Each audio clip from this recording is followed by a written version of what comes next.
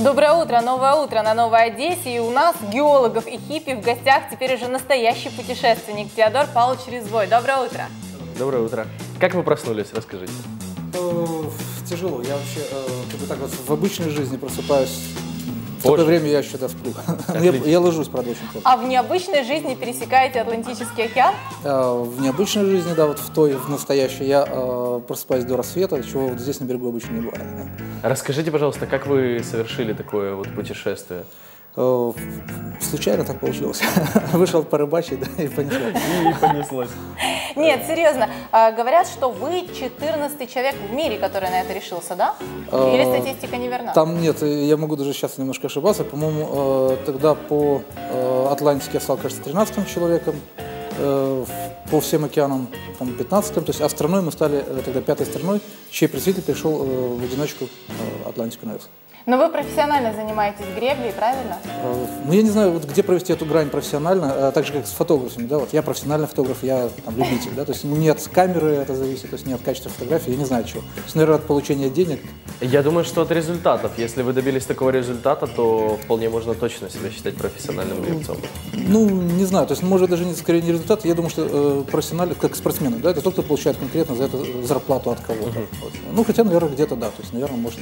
А расскажите, пожалуйста, сколько по времени длилось это путешествие? Э, Первый переход занял 67 дней, 6 часов 35 минут. Уже в память въелось, потому что постоянно отвечаю. Альпинизм, стрельба из лука, большой теннис, волейбол, ушу, тайквондо, айкидо, дзюдо. Это все Википедия сообщает нам о нашем госте. Расскажите, это действительно вы всем этим занимаетесь? Да, ну и не только этим, там еще занимался там, футболом и чем-то еще, не помню, сейчас даже все не, не вспомню. Подождите, ну это же, по-моему, это очень экстремально, вот это все совмещать, даже не сами виды спорта, а Но я занимался всем этим не в одно и то же время. Не одновременно. Это хорошо. Расскажите, пожалуйста, как это путешествовать 70, э, практически 70 дней, да, 67 дней? Э, Э, Как, как, как происходит вообще там, спите вы как, когда, Кушаете что? что? Ну вот интересно какие-то такие детали. да, и ем, но я вам скажу, что это не рекорд на самом деле. У нас есть, ну, вся как бы статистика, да, которая собрана обществом океанских гребцов по, по- по переходам через океаны. Э, Есть э, своеобразные рекорды, но это не специально так, э, как бы получалось, вот самые длительные переходы. Вот до недавнего времени это было, по-моему, 298 дней, а рекорд самый длительный сейчас э, 312 дней. То есть это 10 месяцев в океане. Пр- Практически год. Ну да, это 10 Ну вот, допустим, с водой более-менее понятно. Есть опреснитель. Нет, мне, мне, например, э, интересно, не страшно ли вот, вот столько времени провести, как бы, ну, Ты суша вот дает... суша всё-таки- не страшно. Ну, это я уже привык. Суша все-таки дает ощущение какого-то комфорта, то есть э, понимание того, что вы находитесь в безопасности. А вот находясь в, в открытых водах, это... Ну, э, вода действительно чужая стихия для человека. На суше, вот путешествия мои наземные, Печора, Монголия, там, геология в детстве прошло, э, на земле, естественно, безопасно. То есть это наша среда, да, то есть можно укрыться от холода, не знаю, найти какую-то еду там, на деревьях или где-то спрятаться от хищников в пещерах. Э, В океане, в воде это чужая стихия, человек абсолютно ничего не может сделать. То есть это там страшнее. Сколько еды с собой нужно брать в И, такое и путешествие? что, она же И портится, наверное, Да. или, или как А, вообще? Ну, смотря как берутся, это, в общем-то, специальные продукты, это э, приготовлены методом криозаморозки, то есть э, полуфабрикаты, как эти э, макароны, то есть да, быстрое приготовление. А, но это э, специальные целые комплексы. То есть э, у меня были и э, бифстроганов, и э, ну, там, плов по-мексикански, специальные пакеты, приготовленная эта э, еда, выморожена вся влага, они сухие, без воды, очень легкие, не требуют никаких э, условий для хранения, и они все вот на лодке под палубой в лючках хранились. То есть их заливала вода даже, и ничего с ними не было. Скажите, а вот чем специальным, какими специальными приспособлениями должна быть оборудована лодка? Наверняка там есть ну, какие-то радары, вас же должны видеть остальные суда, и, ну, и вы должны кого-то видеть, и как-то ориентироваться, навигационные приборы. Э, Ну, естественно, да, все это есть. Есть и GPS для навигации, и не один есть дублирующий, есть один встроенный большой, и один маленький. У нас есть да. телефонный звоночек, давайте давайте, послушаем. Доброе утро, вы в эфире. Доброе утро. А представьтесь, пожалуйста. А, здравствуйте, меня зовут Артем. Очень приятно, Артем. Задавайте ваш вопрос. А вот, например, вам по- помогает э, правительство наше как-то ваше путешествие в горсовет, областной совет? Помогает ли правительство вот э, Ага, финансово, я да? поняла. правильно я То понимаю? есть вот за какие средства ненавязчиво интересуются Спасибо большое вам зритель? за вопрос. Спасибо за вопрос. Ну, должен сказать, что э, да, вот э, в прошлых переходах была помощь на самом высоком уровне. Вот у меня в 2000, это второй вот переход, который попытка была неудачная. Помогал госсекретарь Кабинета министров Яцуба. Потом вот последний переход, вот этот австралийский, помогал на тот момент ну, министр транспорта Кирпа. И после последнего вот этого перехода, это 2004-2005 год, э, как раз оранжевая революция, и после этого абсолютно все рухнуло, вообще ни- никакой помощи добиться То есть, в принципе, невозможно. ищите спонсора. Так что, если хотите посоучаствовать в переходе через Атлантику, ищите в социальных сетях на Фейсбуке, ВКонтакте Теодор Резвой.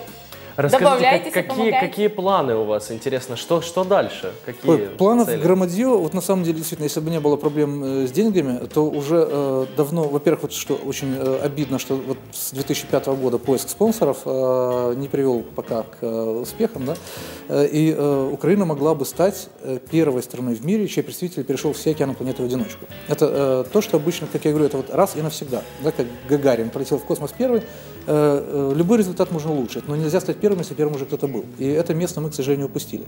Э, Им стал э, американец турецкого происхождения. Но э, остались определенные как бы, категории, где можно стать первыми раз и навсегда.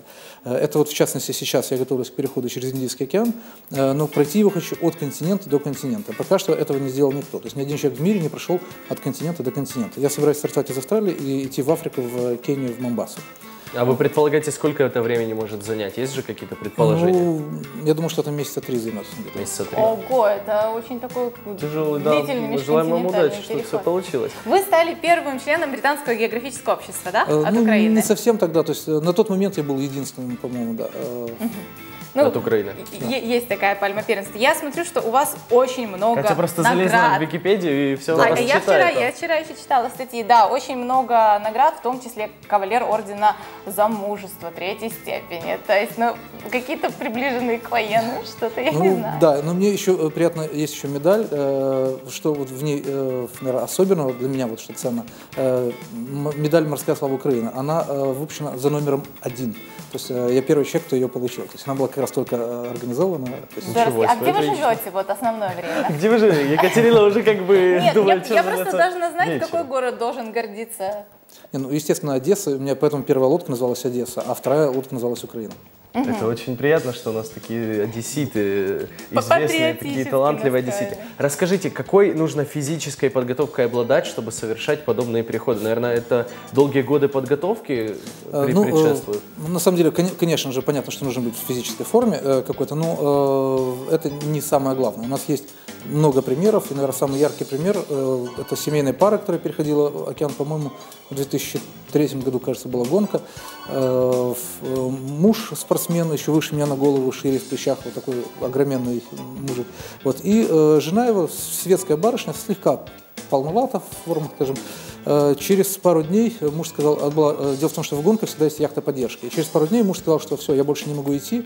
Э, Он не мог ни спать, э, ни есть, ничего, было ужасно. Ну, я, я знаю, э, это отдельная история, как бы про э, сложности вот эти. Э, И он сошел э, на яхту. А жена сказала, мне нравится, я останусь. И она прошла океан за, тогда вот тот маршрут Атлантику прошла, по-моему, за 110 дней. Э, Вот. То есть А можно в процессе То есть получить вы такой там азарт. не совсем одни, да? Вас Не-не, это э, вопрос, это было в гонке, да. Я просто это привожу, ну, пример э, к вашему ну, вопросу, да, о том, что э, физической главное не физическая подготовка, а главное все здесь, вся сила на самом деле у нас там внутри.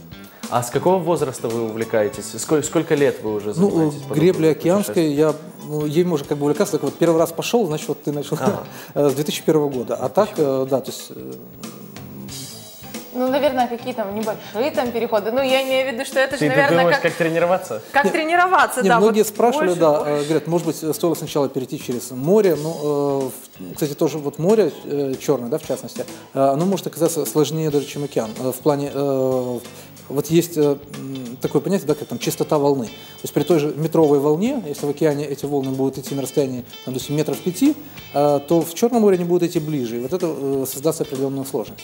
Вот, но э, на самом деле э, опыт э, как бы туристический такой вот и морской, он достаточно большой, потому что еще с- до моего рождения была у нас дача на Крымном Бугазе, и я вот с такого вот возраста уже на лодках на Крымном Бугазе выходил маленьких, больших, то есть это все детство прошло на Бугазе на море, на лодках. Вот. И э, этот опыт, как я говорю, э, грибная техника, как это, э, рыбацкая техника грибная, да, она полезнее, наверное, даже была в океане, чем э, если бы я занимался греблей э, на канале, потому что там ровная вода, там совсем другое.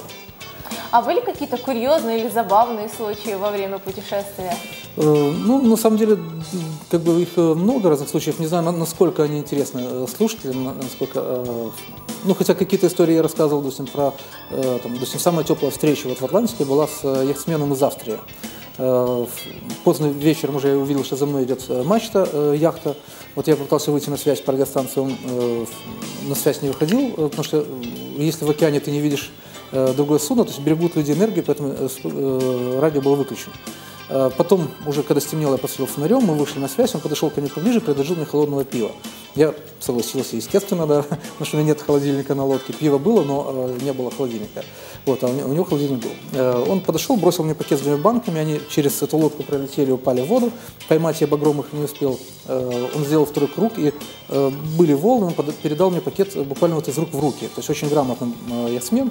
На маленькой яхте 10-метровой мы с ним выпили пиво, поговорили и разошлись. Была, наверное, самая теплая встреча. такая. То есть Вот это в, в основном такая дружеская атмосфера царит, Ну, да? естественно, да. То есть в любом э, яхт-клубе, э, куда бы вы ни зашли, на яхте э, всегда можно рассчитывать на поддержку яхтсменов других. То есть есть братство так же, как у байкеров, у там, туристов в горах. Это, это все естественно. да. Слушайте, а вот если ну, происходит что-то экстренное, что-то там поломалось, ну вот во время путешествия, то вы как контактируете со всем внешним миром? Ну, я имею в виду там не с... Ну, есть э, спутниковый телефон, э, да, э, радиостанция это для связи вот в пределах э, видимости, э, спутниковый телефон, я выходил на связь, я получал полезную информацию по погоде, и в случае чего, да, я мог подать сигнал СОС, ну, сигнал СОС я еще другими там, приборами, но спутниковый телефон, да, то есть решение многих вопросов вот, по телефону. То есть вот на таком маленьком пространстве, ну вот сколько приблизительно, ну вот это... Ну, лодка вся длиной э, 7 метров. То есть, э, э, но носовая настройка, она практически не используется. Э, ну как, именно в- она маленькая, туда не залезешь, там только хранятся вещи. Э, кабина и палуба, вот как бы все А пространство. вот нам только что показывали фотографию, э, это вот та самая лодка? Э, Да, это лодка первого перехода, э, Одесса, э, вот, на которой был совершен первый переход. К сожалению, лодки этой уже физически не существует. Она э, погибла в э, Средиземном море. Итальянец ее после, через одного человека после меня ее арендовал и разбил ее. Есть на Фейсбуке, по-моему, даже ее фотография. А, ну как так вот? Ну, в смысле, во время путешествия Э, имеется? в Да, это вот, Нет, кстати, разбил по дороге, поехал. мне кажется. Ну, конечно, во время часто меня спрашивают э, о... Но гитаристы же ломают гитары во время А, после- выступления. после концерта. После Перешел, перехода сломал и- лодку. Э, Самые вот большие опасности для э, таких переходов – это судоходство и земля. Вот на подходе к берегу реально можно попасть в шторм, допустим, и просто лодку раздавит о берег. Вот, Так что это самая Вот большая так вот. опасность. Интересно. Ну, я думаю, вы видели уже всю информацию, так что давай, да, вытаскивай там лодка, где там наша лодка. И мы поплывем. Сейчас пойдем.